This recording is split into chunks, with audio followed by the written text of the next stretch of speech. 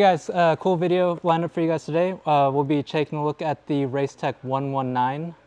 Um, Racetech's a company based out in New Zealand. They do have facilities here in the US. Safety is a huge, huge thing and seats are of the utmost importance.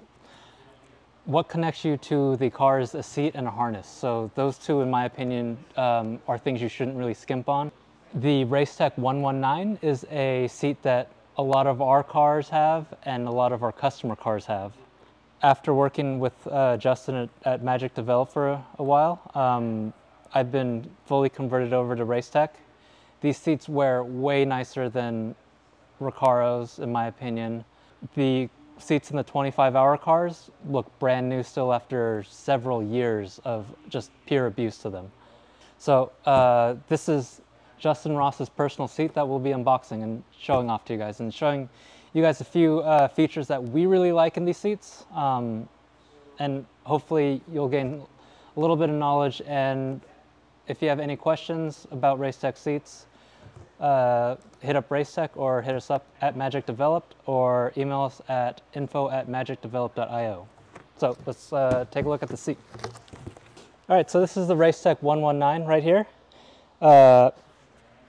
Comes from Racetech with uh, seat mounting bolts. Uh, these are six millimeter Allen sockets. Removable seat cushion right here. Uh, all of our cars, we recommend not having them. You, you sit lower in the car, you get a better uh, sense of how the car feels. Um, what's really cool about this back pad here is, uh, if you notice right here, it has a, it's hollowed out.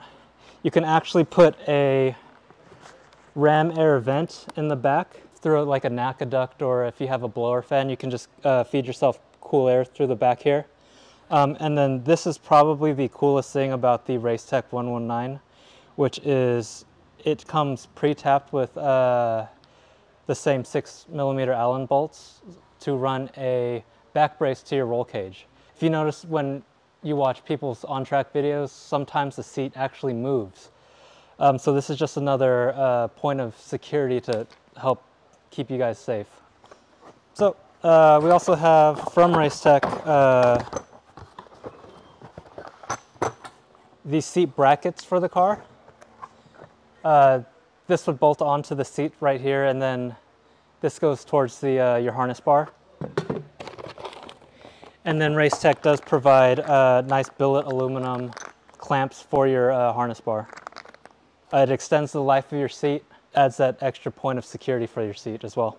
We also have these uh, cool Racetech seat mounts. Um, plenty of adjustability to get that, that perfect rake on your seat, um, to dial in your driving position however you want it. Um, I personally like it with it tilted, uh, tilts back a little bit. And the Racetechs give a ton of adjustment, way more than I've seen in uh, any of the, the Honda-centered uh, seat brackets. Thank you guys for uh, checking out our unboxing and review of the Racetech 119. Again, this is our favorite seat here at Magic Developed. Uh, if you have any questions on uh, what seat is right for you and your type of motorsport, or if you fit a Racetech seat, um, come, come see us at the track. That's probably the best way to do it. Uh, go to your local HPDE day or NASA race day and see what's in the paddock. Um, that'll tell you kind of what the quality seats are. You're going to see a lot of uh, Racetechs. You're going to see a lot of uh, Sparco, OMP, Recaro, those types of seats. But I think Racetech is miles ahead of everyone in terms of comfort, in terms of durability, and in terms of safety. Um, if you have any questions, uh, hit us up, info at magicdeveloped.io. Thank you.